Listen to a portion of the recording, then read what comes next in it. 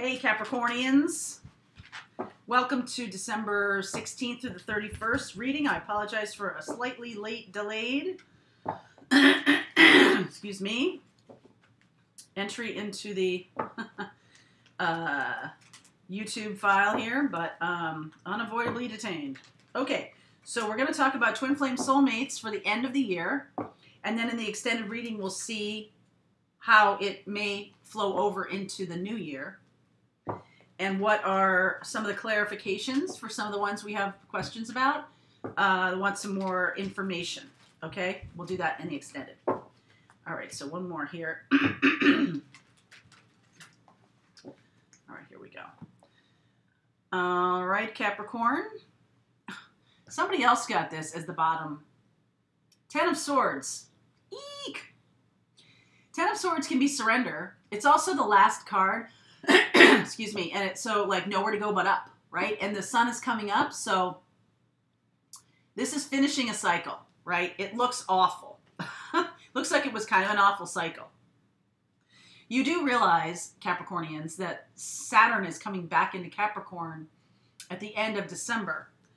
and that's where it belongs. So you'll be very happy with uh, your home, your planet, your ruling planet at home moving forward. So here we go. This is about love and twin flame. Okay. Okay, okay. Excuse me. I'm so sorry. Okay. So, the Capricorn friends, you have been waiting. You have been waiting, and your wish is going to be granted. This is your gift that is happening at the end of this year. This is going away. Whatever has been plaguing you, because look, the universe is saying you have been through you have been through it. Okay? You have been through it. so you have been through it, and that has created strength in you. You are now uh, a more formidable opponent. You are now very, very um, powerful in a feminine sort of way, like uh, internal power and strength, and that just comes through you, right? That just comes through you. You have been waiting for this. This has been a long time coming. You have been awaiting your person. And you have been through it.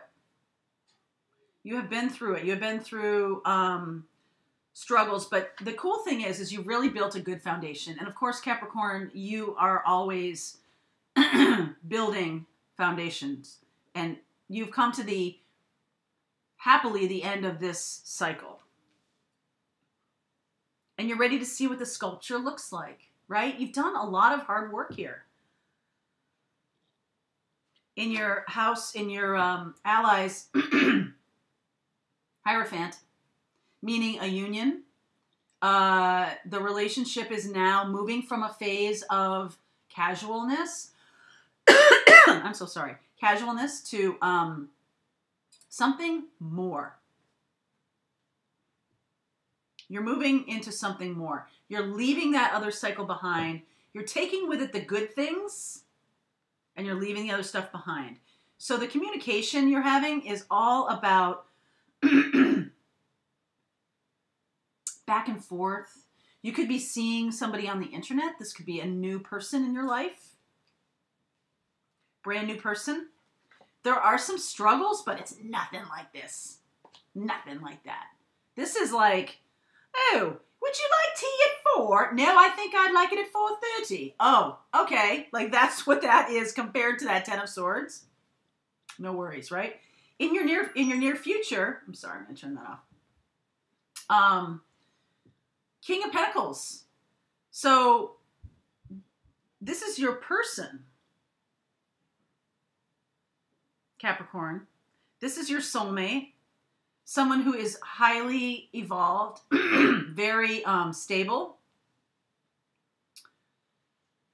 You have been talking to them for quite some time. You know who they are. This is not a new arrival. This is something you have wished for, something you have waited to come to fruition. The outcome card, Nine of Cups. Your wish is granted. The out the uh, uh, universe uh, advice is that you're gonna win. All right, so just relax, just chill. If it hasn't quite come together yet, it will by the end of this year. That's really nice. Little bit, little, little bumps, okay? Little bumps in the road. Nothing like you've already experienced. You can handle this. You got this. All right, you got this.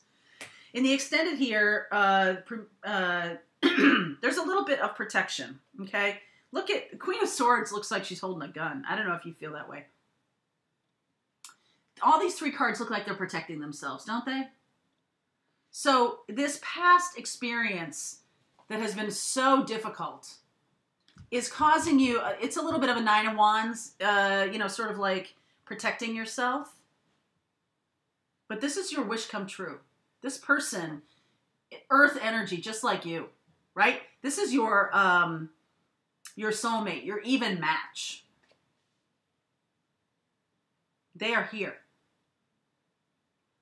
So we're gonna um, see how this plays out. We're gonna get some cards for some energies around where we're going here. What's what you're gonna have to navigate because the wish has been granted, but there's still a lot to do. There's still a lot to do here. It's not coalesced. I don't see what I do see though is that union is here. Right? This is a this is an earth plane like a marriage, right? Like it's not like just this dreamy soulmate, we're connected spiritually. Not that that's bad. it's just not this is earth this is you, Capricorn. This is earth based. All right? Okay, so I will see you on the other side and we'll do some more extended information about what's going to happen. All right, we'll see you over there on Vimeo.